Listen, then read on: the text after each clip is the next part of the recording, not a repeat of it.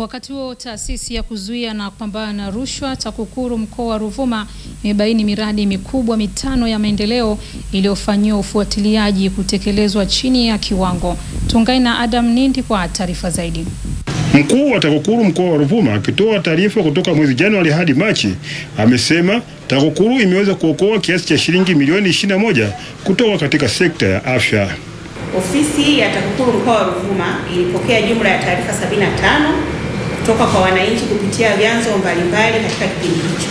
Katika kipindi cha kuanzia mwezi Januari hadi Machi 2019, ofisi ya TAKUKURU mkoa wa Ruvuma katika kipindi hicho iliweza kuokoa fedha kiasi cha shilingi milioni 21 laki moja na 74 na 375 kutoka katika sekta ya afya kama mishahara hewa. Fedha hizi zimerejeshwa serikalini. Mkuu wa TAKUKURU mkoa wa Ruvuma akiendelea kutoa taarifa amesema katika miradi mitano iliyokaguliwa imeonekana iko chini ya kiwango na uchunguzi bado unaendelea.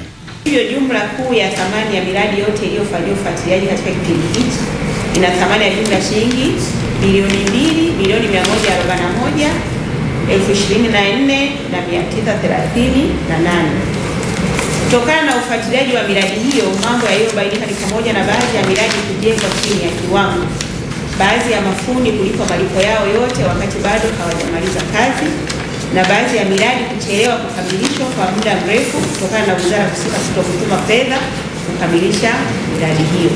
Hiyo ni mradi wa maji wa Lituta Mtefa Madaba na Kipingu wenye thamani ya shilingi milioni 748 laki moja na elfu hamsini na nne na mia mbili. Mradi wa maji mtiririko wa Maweso wenye thamani ya shilingi milioni 546 laki saba na tisini na mbili na mia moja sitini na tatu. Mradi wa mabweni mawili ya wanafunzi katika sekondari ya Mahanje iliyoko Madaba wenye thamani ya shilingi milioni 196 na elfu sabini na nane na mia tano sabini na tano. Mradi wa ujenzi wa mabweni mawili ya wanafunzi katika sekondari ya barabarani huko Mkukuru wenye thamani ya shilingi milioni 150 na mradi wa upanuzi wa kituo cha afya cha Mkuru wenye thamani ya shilingi milioni 500. Mkuu wa TAKUKURU mkoa wa Ruvuma amewaomba wananchi wa mkoa wa Ruvuma kuweza kutoa taarifa pale wanapoona mianya ya rushwa ikitokea au kufanyika kazi chini ya kiwango. Nikiripoti kutoka hapa Songea, Adam Nindi, Star TV.